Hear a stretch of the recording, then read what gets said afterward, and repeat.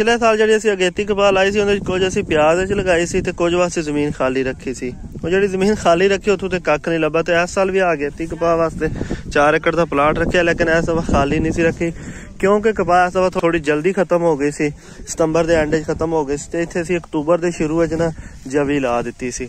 ਤੇ ਅੱਜ ਆ ਜਵੀ ਦਾ ਦੂਸਰਾ ਪਲੋ ਜਿਹੜਾ ਨਾ, ਉਹ ਵੀ ਵਿਕ ਗਿਆ। ਇਹ ਤਕਰੀਬਨ 1 ਲੱਖ ਤੇ 10000 ਦੇ ਦੋ ਪਲੋ ਵਿਕੇ ਨੇ। ਅਕਤੂਬਰ ਦੇ ਸ਼ੁਰੂ ਹੀ ਲੱਗੀ ਸੀ ਆ ਦੇਖੋ। ਹਾਲੇ ਕਪਾਹ ਨੂੰ 10-15 ਦਿਨ ਦੇਰ ਹੈ, ਲੇਕਿਨ ਜ਼ਮੀਨ ਖਾਲੀ ਹੋਣਾ ਸ਼ੁਰੂ ਹੋ ਗਈ ਹੈ। ਐਗਜ਼ੈਕਟ ਯਕਮ ਫਰਵਰੀ ਤੱਕ ਸਾਰੀ ਖਾਲੀ ਹੋ ਜਾਏਗੀ। ਤੇ ਤਕਰੀਬਨ ਇਹ ਸਾਢੇ ਕੁ 3 ਮਹੀਨਿਆਂ ਚ 90000 ਰੁਪਏ ਪਰ ਏਕੜ ਜਿਹੜਾ ਨਾ ਪੈਸੇ ਬਚ ਗਏ ਨੇ। ਜਿੰਨੇ ਵੀ ਐਸੇ ਜ਼ਿਮੀਂਦਾਰ ਬਈ ਜਿਹੜੇ ਅਗੇਤੀ ਕਪਾਹ ਵਾਸਤੇ ਜ਼ਮੀਨ ਖਾਲੀ ਛੱਡ ਦਿੰਦੇ ਨੇ ਜਾਂ ਮਕਾਈ ਵਾਸਤੇ ਜ਼ਮੀਨ ਖਾਲੀ ਨਹੀਂ ਛੱਡਿਆ ਕਰੋ, ਕੋਈ ਨਾ ਕੋਈ ਚੀਜ਼ ਤੁਸੀਂ ਲਾ ਸਕਦੇ ਹੋ। ਅਗਰ ਤੁਹਾਡੀ ਸਤੰਬਰ ਦੇ ਸ਼ੁਰੂ ਵਿੱਚ ਖਾਲੀ ਹੁੰਦੀ ਹੈ ਤੇ ਆਫ ਸੀਜ਼ਨ ਪਿਆਜ਼ ਲੱਗ ਸਕਦਾ ਅਕਤੂਬਰ ਹੀ ਖਾਲੀ ਹੁੰਦੀ ਹੈ ਤੇ ਫਿਰ ਇਹ ਬਿਹਤਰੀਨ ਆਪਸ਼ਨ ਜਿਹੜਾ ਨਾ ਉਹ ਚਾਰੇ ਵਾਲਾ, ਉਹ ਵੀ ਲਾ ਸਕਦਾ ਹੈ। ਸਤੰਬਰ ਵਾਲੇ ਭਾਈ ਜਿਹੜੇ ਨਾ, ਉਹ ਸਰਸੋਂ ਵੀ ਲਗਾ ਸਕਦੇ ਨੇ। ਸਰਸੋਂ ਇਸ ਸਾਲ ਬਲਕਿ ਜ਼ਿਆਦਾ ਪੈਸੇ ਦੇ ਗਏ ਜਵੀ ਨਾਲੋਂ ਵੀ। ਹਾਲੀ ਤੱਕ ਜਿਹੜਾ ਰੇਟ ਅੱਗੇ ਤਾਂ ਨਹੀਂ ਪਤਾ, ਲੇਕਿਨ ਉਹਦੇ ਚ ਕਪਾਹ ਥੋੜੀ ਲੇਟ ਹੋ ਜਾਂਦੀ ਹੈ